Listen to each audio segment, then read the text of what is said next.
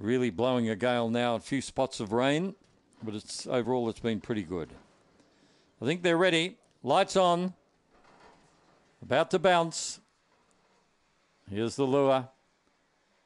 Racing, cries Bob was only moderately away. Going to the lead early was Varev. Going with it is Big Rough in the early stages. Varev leads Big Rough out of the straight.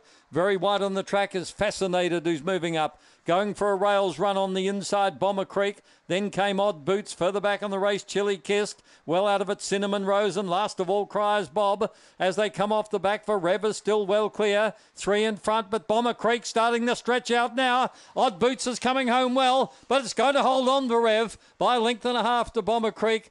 Odd Boots, uh, Chili Kissed. They're followed by Big Rough. Further back on the field, then cries Bob. And well back on the race, Fascinated and Cinnamon Rose found the class just a bit hot.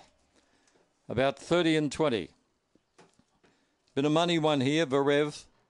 They did bet 750. He came in. Ran a really good uh, run in the heat of the cup. He uh, finished second in the heat behind Lectra Stomp when he broke the record. Varev is a black dog by General Destini from Chasing the Dream.